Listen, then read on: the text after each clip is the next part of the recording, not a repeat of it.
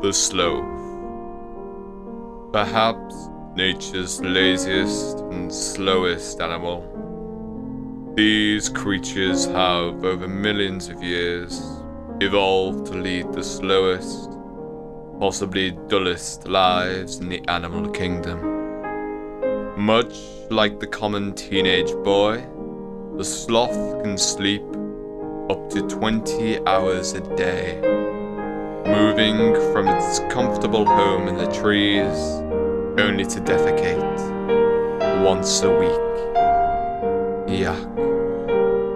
This evolution includes the development of forelimbs, which are specifically adapted for dangling from trees and descending and ascending the trees, and occasionally dragging the sloth along the ground.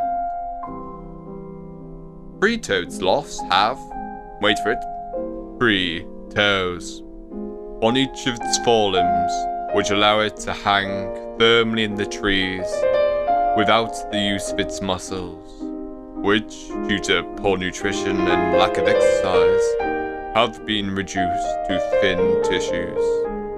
It is obvious that the sloth does not even lift. Its claws come in useful on the rare occasion that it does move along the tree line towards some tasteless, almost nutritionless, and difficult to digest leaves.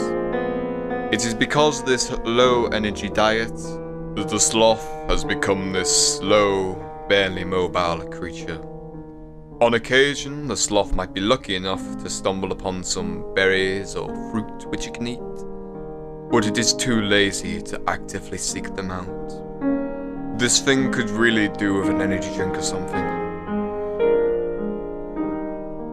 Its arms, compared to the rest of its body, are long, which allow the sloth to extend out and reach branches which otherwise might be out of its reach. This allows the sloth to move through the canopy of the rainforest with relative ease.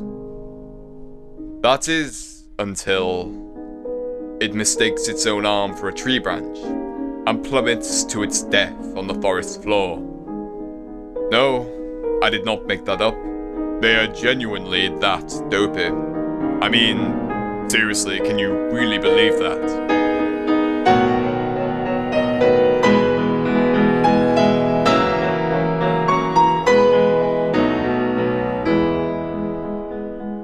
The actual bone structure of the sloth's forearm follows the standard pentadactyl limb model present in most mammals.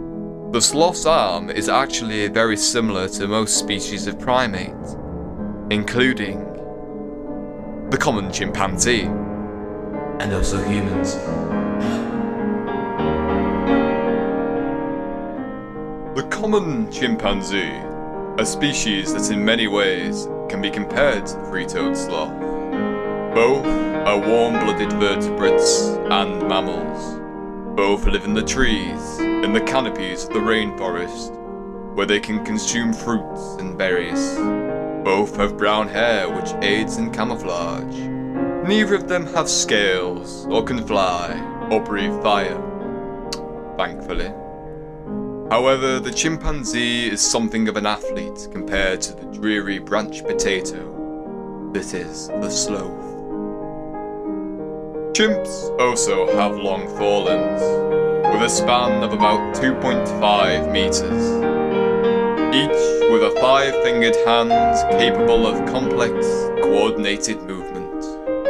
This allows the chimpanzee to extend out and reach branches which may otherwise be out of its reach. The chimpanzee can then swing for the canopy with relative ease. Sounds familiar, doesn't it? Well, Unlike the sloth, chimpanzees do not generally mistake their own arms for branches. I'm not going to forget about that.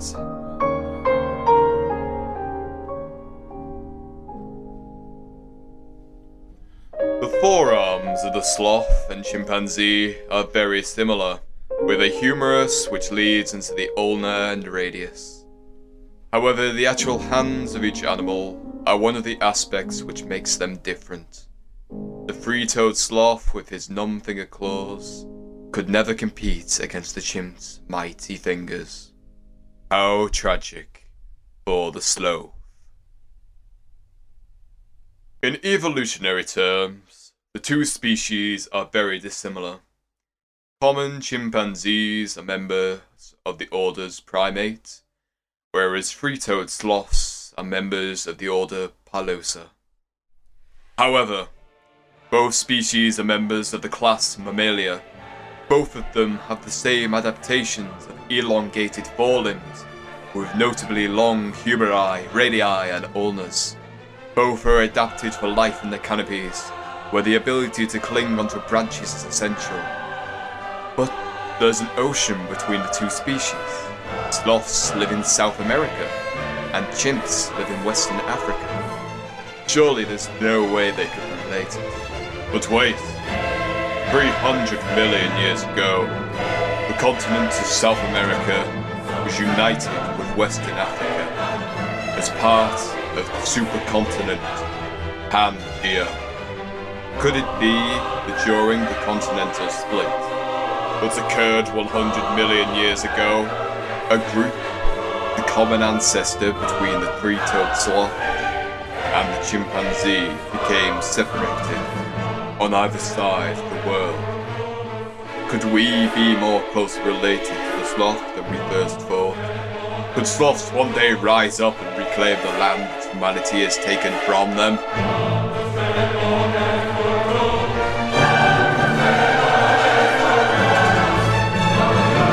Probably not.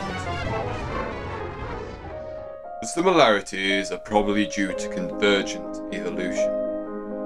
Phenomena where two species exposed to similar environmental attributes develop similar survival features.